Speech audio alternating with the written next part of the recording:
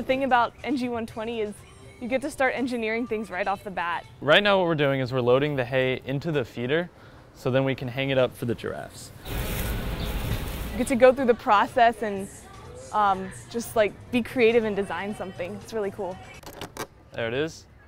There, and now it's hanging from the winch and then it'll just be raised up. Took our team name from the zoo actually. They had, a, had, they had an exhibit when we first came called Kulakamba, so we thought that was really cool. So we call ourselves Team Kulakamba. Now it's actually ready, so we just leave and let the giraffes come and attack it. They don't have a problem eating. It's, uh, we just want to make that food that we give them last all day long. So we want to make it difficult for them. We don't want to just hand the food to them, that'll be too easy.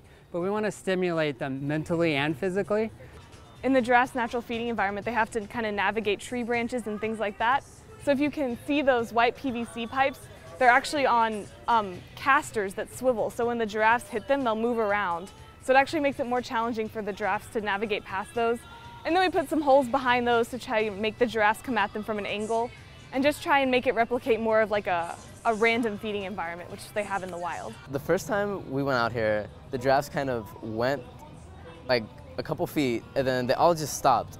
And they all just like gave this, they all just started like staring and turning their heads towards the feeder and kind of giving like a, what is that kind of look?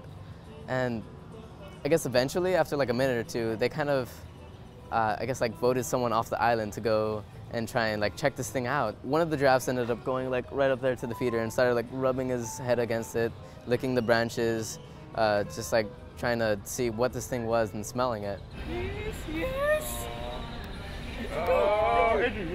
They spent all semester building this and we meet with them throughout the semester and it's really great. Real world working experience and you get to see like your finished product out here, which is really cool.